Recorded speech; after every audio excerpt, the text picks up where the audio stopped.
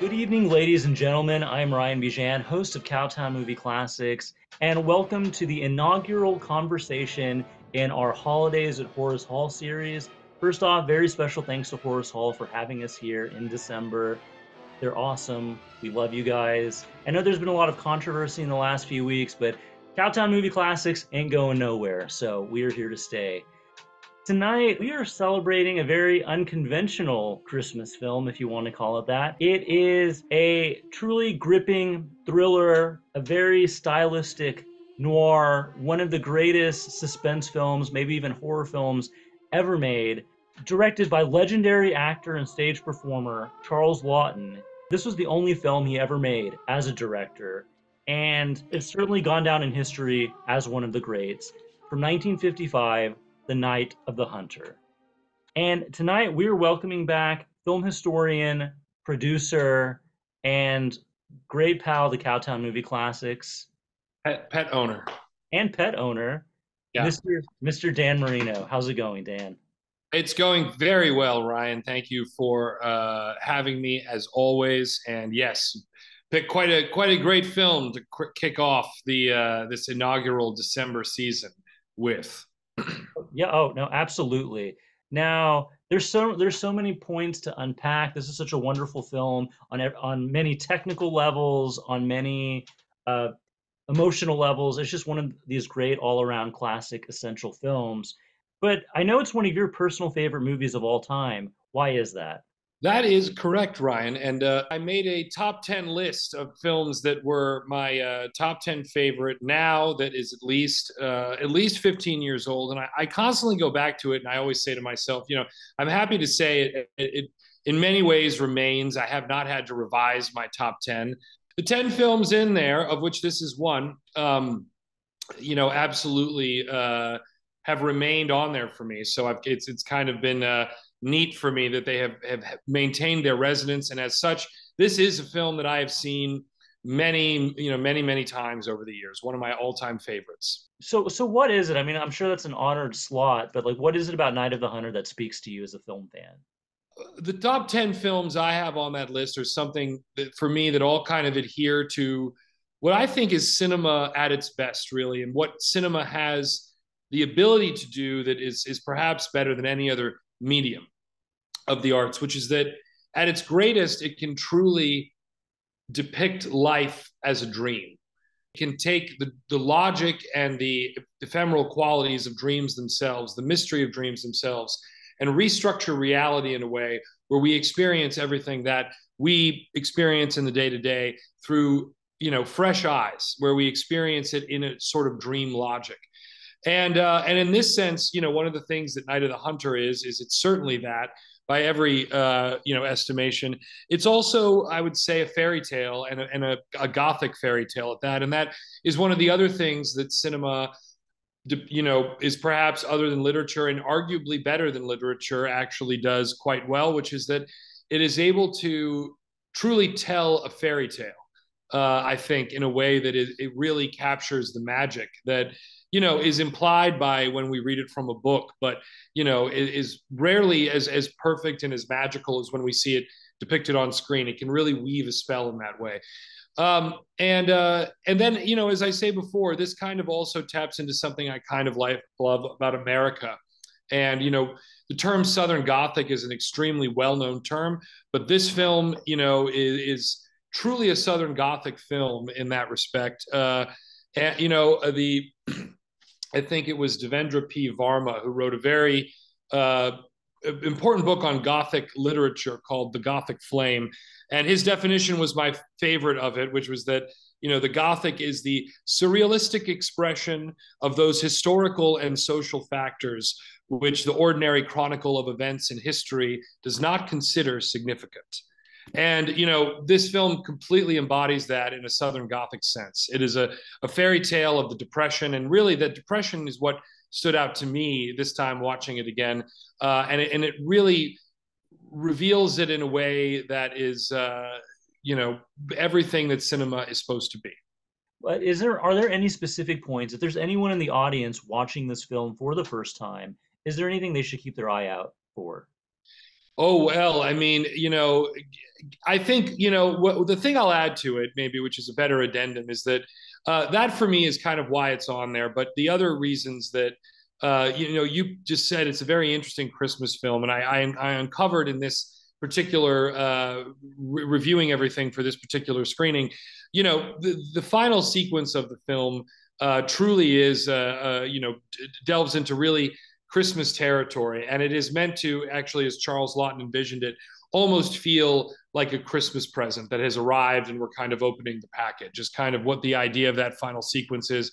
And you know what? What another thing, because as you said, it's, it's truly one of the great horror films, uh, one of the great performances by one of the great actors of all time, Robert Mitchum, and uh, he may never have been better than in this performance. And directed, as you said, by one of the maybe greatest actor of the 20s and and the 40s. that You know, in my mind, rivaled maybe only by James Cagney uh, for very different reasons. And so you could very easily leave it with Charles Laughton You know, you have an interest, and then written by James Agee, who, for people I also have to say, who are not familiar with film criticism, is you know one of the great film critics. And uh, while his uh, tenure on this in relationship with Laughton was very troubled, I think much of his script, it seems, still survives to an extent. Uh, so you know, I think the last thing you're going to see, which is a good thing to keep your eye on, is is that this is often thought of as a horror film, but what makes it work as a horror film is I think it is really truly one of cinema's top five or ten depictions of childhood. Uh, and children is the centrifugal theme, I think, of the film, and the innocence of children and how that survives in the world, you know? And so easy to miss it with all of the scary things and the great performance of Robert Mitchum. But uh, I think it's, it's, it's, it's worth it to keep it in mind that this is a, a fable about depicting the inner life of a child. All right, Dan. Well, thank you so much. If you're in the audience, please stick around to hear the rest of our conversation. If you've seen this movie before, you know there's a lot to unpack. Without further ado, from 1955, The Night of the Hunter. Wow, what an incredible film. An amazing movie. I'm one as always jealous that I'm not there in person to share it with you. But you're with us in spirit, and that's what we appreciate. That is correct. I I, I am with you in the the spirit there. I'm a ghost haunting the Cowtown cinemas. right, This moment, a cinematic ghost. Yes. You're a ghost of Christmas past. That's why you have the glow behind you, right? You're That's right. Exactly. The, the, there you go. Exactly. So it's almost incomprehensible to conceive of today, but this movie was not well received by neither audiences or critics in 1955. Why was that? What was the reception like? Well, that's you know always an interesting question. Uh, you know, and you know, you you point out something that I've always been troubled by as a as a filmmaker and a producer myself, which is that most of the films actually that we end up uh, looking at today that really is really the great ones, the classics uh, at a minimum, it seems like in general get a mixed reception upon their release. Uh, it's rare uh, historically, if you actually really look at the record, in my opinion, that um, something that we hold in high esteem was genuinely praised as such on its arrival. It's a rare phenomenon, actually, that it is. And usually the things that are praised highly in that way, uh, you know, while again, they might, you know, that might not be inaccurate to praise them and they're of a high quality, are not necessarily the films we're talking about today. Uh, and I've always found it troubling, you know, th- those factors when you think about it.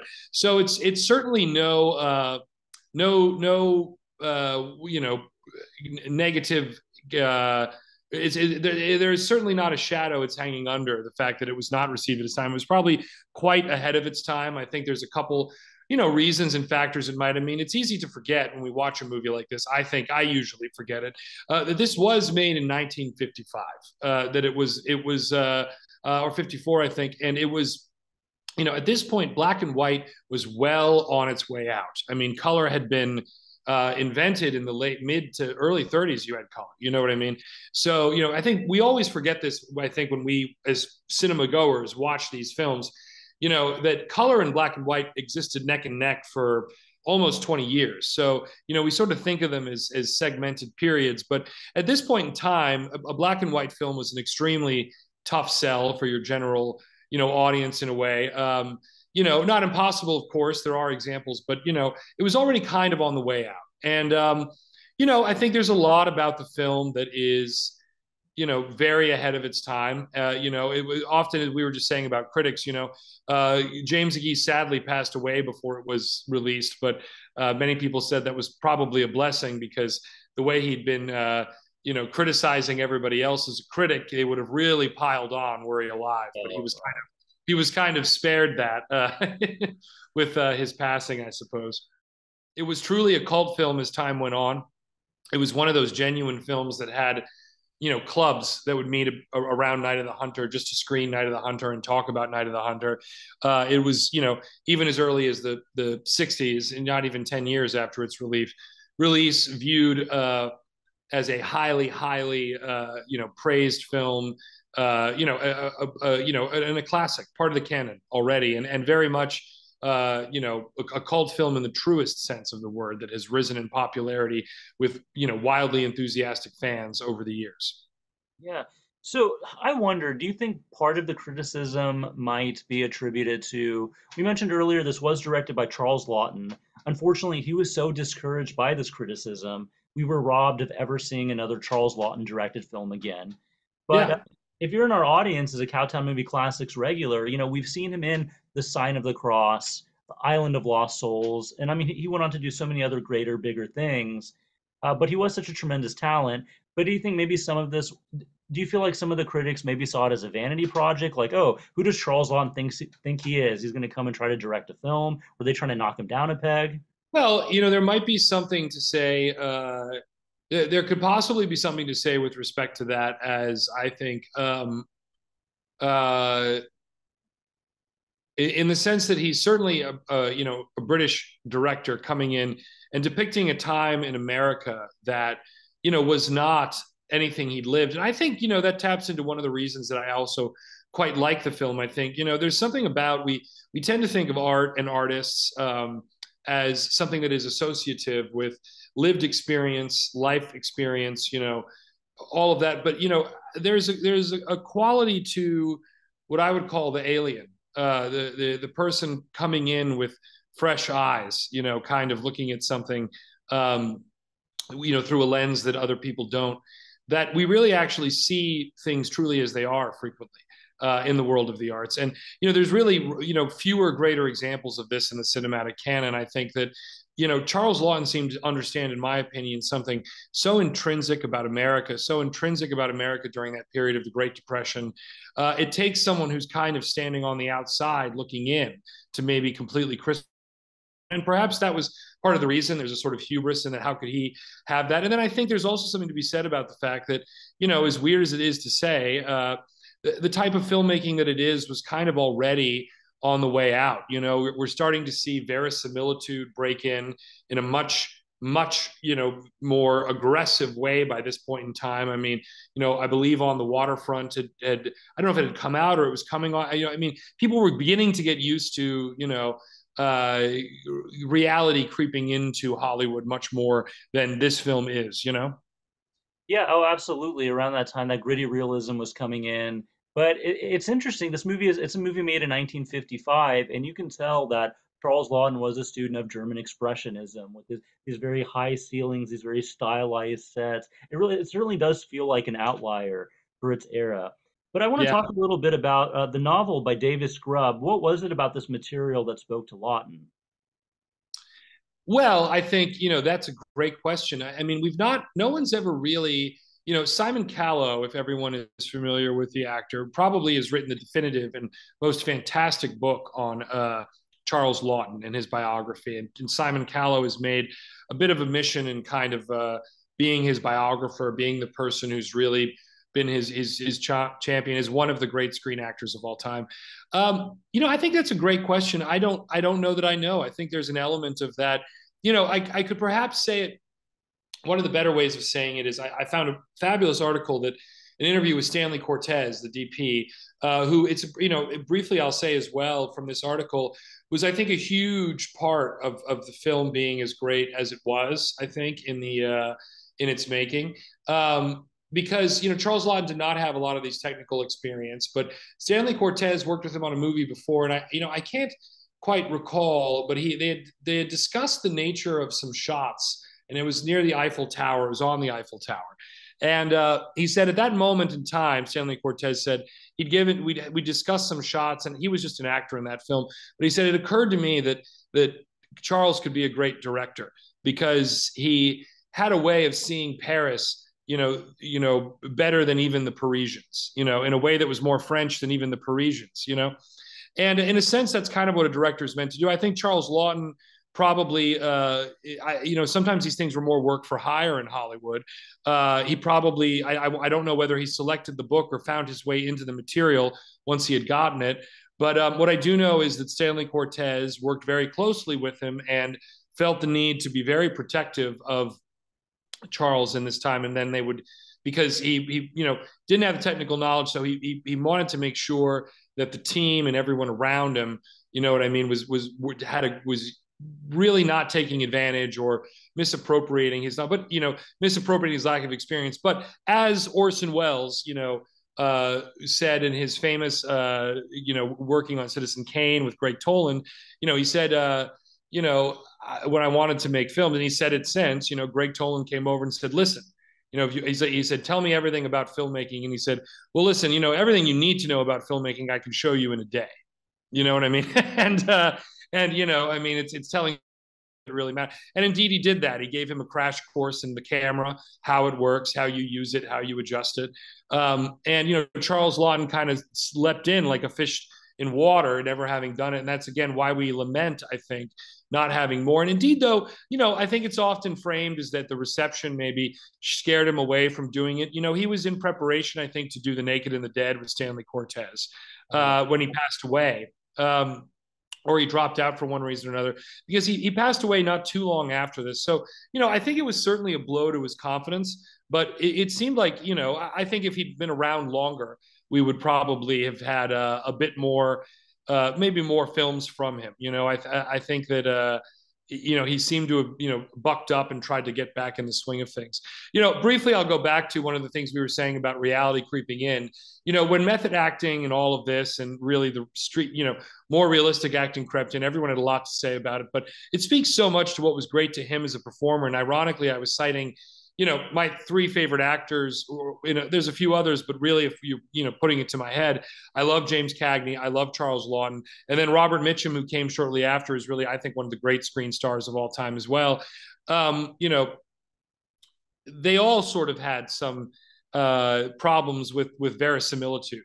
Uh, you know, James Cagney is not a realistic actor, but he's a star in every sense of the word. It's, you know, every moment feels like it's being played to, you know, a, a, a giant theater full of every, you know, but uh, Charles Laughton said of this, and I think this says a lot actually about the film Night of the Hunter, but he said a method actor can give you a photograph, a real actor can give you an oil painting, you know, and in, and in a way, I think that is really goes right to the heart of what, uh, you know night of the hunter is which was already kind of becoming out of fashion by that time but you know through the eyes of time and history we see you know what an oil painting he made you know oh yeah absolutely from the man that played rembrandt right so he knew what exactly yeah, right oil painting. yes um, is there anything else you wanted to? Any other points you wanted? Well, there's so much I could continue on. Yeah, I mean, look, I, but I, I also know we have limited time to some degree. But you know, I think a couple other things worth mentioning is as I was saying before, presenting life as a dream, you know, what's so important about that to me, and I think this is, I, I always want to distinguish this, and this is more just me as a critic. You know, the, the best things, though, frequently, what is the mistake we we make in in cinema is that it begins as a fantasy, you know, um, and we're using, you know, we're we're we're using fantasy to create a sort of reality in the screen, and that is interesting to see. But to me, the best fairy tales, the true best cinema, is it's using the building blocks of life itself to create a fantasy. It's the it's the act of creating a fantasy using real material. What I love about this film in particular is that it is using real uh, materials. Um, it is really actually using real life emotionality, real life experiences that and use that to somehow reimagine it through the lens of a fairy tale. But none of it is is is is fake. You know i think it's all real. When i say southern gothic you know the, the film takes on all of the tropes sociologically of the south of that world of the time and reimagines them through a lens that feels approachable, that feels heightened but approachable. But it all is real. You know, the Shelley Shelley Winters kind of indoctrination, and then most importantly, I think it, a, a word has to be said about Robert Mitchum's performance. And you know, I always think too, you know, Robert Mitchum was one of the great actors, but always tried to minimize the the the the pretension that surrounded art. But I think you know, always tried to minimize the down talk himself, downplay himself as an actor, always tried to make him seem like just a journeyman, just a guy's guy. But the reality is, I think he took it quite seriously, those doors. I just think he felt it very unbecomely to have to talk about art in a sort of high fashion the way most people did. But, you know, he, he often said of himself, the only difference between me and my fellow actors is the time I've spent in jail. and uh, and I've that I've spent more time in prison than all of them. And you know, I I think that says a lot about the performance he created. You know, uh, Harry Powell is truly uh, you know one of the cinema's great angelic killers in that he he really feels like an angel, uh, even though he is a devil. And you know, the the the act the character is so convinced in his own mind of his you know, not, you know, lack of evil, I think, that it's truly what's scary about it. He, he considers himself innocent of any of this wrongdoing. And I think that Robert Mitchum spent a lot of time around these types of characters in this world and in prison. And I think he understood uh, a, certain truth about some of the, the the more evil people of this world and that you know everybody's coming from somewhere and they all have their reasons and in their minds they always think of themselves as the hero of their own story, you know, and that never comes true more clearly than with Harry Powell. I mean, the other one of cinema's other great angelic killers that comes to mind, really, on the only one on the same level is probably um, Harry Lime in The Third Man, played by Orson Welles, you know, who seems like such a charming presence is such a, sweet presence, you know. But you know, it was also Charles Laughton even said of of, Rob, of Robert Mitchum on it that you know all that tough talk is blind on his part. He's a very literate, gracious, kind man. Indeed, he was given much credit for working with the children. Um, on the film, which Charles Laughton felt he had a very difficult time with. But Robert Mitchum found a great way working in with them as kind of a sort of, you know, father figure, kind of getting them their level of comfortability with all the performers. But uh, he said he speak, you know, Charles Laughton said he speaks beautifully when he wants to, and that Bob would have made the best Macbeth of any other actor living. You know, he would have been a, a fantastic. And and you know, I always think of that. We never got to see him as that, but uh, you know, I, I think of that as a very uh, you know, apt description of really the type that Robert Mitchum was. There was a sophistication there that he he hid quite frequently under the uh, the the guise of that, you know. And you know, the last thing I, I want to add this too, and it might be a bit of a non sequitur, but I know that our time is limited. I, I found a beautiful story that Stanley Cortez had about the working with uh, Robert Mitchum on this. And uh, let me just pull it up here, if I may. But he was talking about how they sort of developed a shorthand, and uh, you know, it was kind of like a uh, oh, I thought I had it up here actually, but I might have. it had a shorthand basically, and uh, what it what essentially was is that you know in any creative process, you know, I was shocked to discover that this was something that they had to shoot on a, on a schedule. This was done in 36 days, and uh, they had a lot they had to try and get in. There was much in a way they were unhappy with. Uh, when they were doing it, but you know, it was uh, like in, indeed they spoke about how the uh, the sequence on the stairwell, which I've always think of as one of the scariest sequences.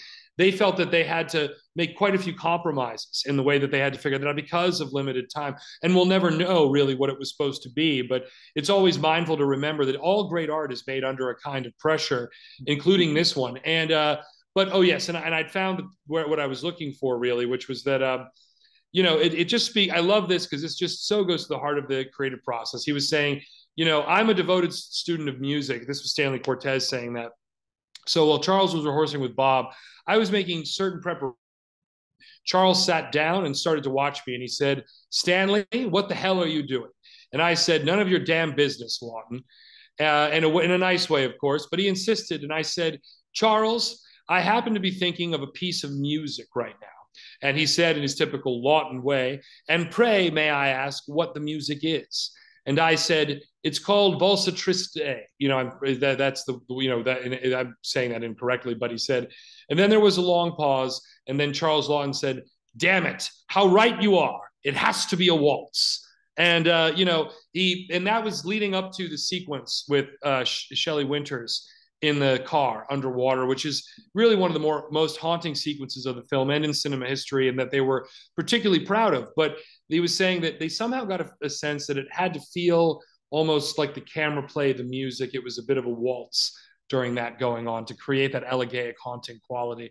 Um, so, you know, just felt I had to share that last little story there because I had not heard it myself till this point. And it speaks to so much with the creative process. We as critics so often try to break down the conversations that people have when they're making these things, but the process itself is usually very rigorous, very involved. There's very little time for these kind of considerations. And usually it's intuitive and you kind of just go with the intuition. Yeah, well, they certainly had a good sense of intuition on this project, and they yeah. certainly created a haunting waltz. Mm-hmm. So absolutely. So Dan, once again, thank you so much for your time. We always enjoy hearing from you. Always a pleasure to uh, talk to you guys and to your audience, and uh, hope everyone is has a wonderful holiday season that does not resemble the children's holiday season in this film. Hopefully, hopefully not, but it's 2023. You never know, right? You never know. That is true. All right. Thank you so much. And for you in the audience, I really hope you enjoyed tonight's film. We will be back this Friday with another unconventional Christmas classic. We'll be welcoming back David Del Valle to hear his thoughts on Bell Book and Candle. So it'll be a very witchy Christmas. A treat. I know it will be. It will be. Absolutely. Once again, I'm Ryan Bijan. We'll see you next time.